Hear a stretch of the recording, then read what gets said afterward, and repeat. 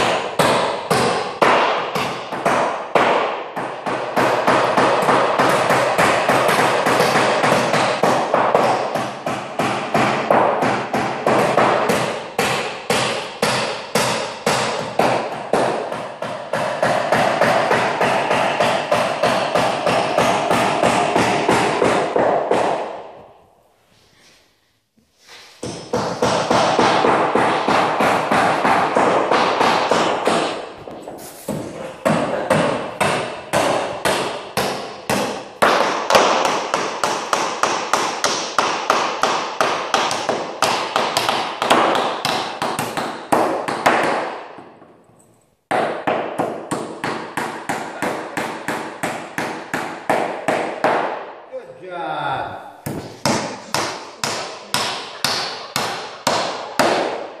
You switched the left hand, I was impressed. Well, yeah, I wanted to- we're keeping this flat like this.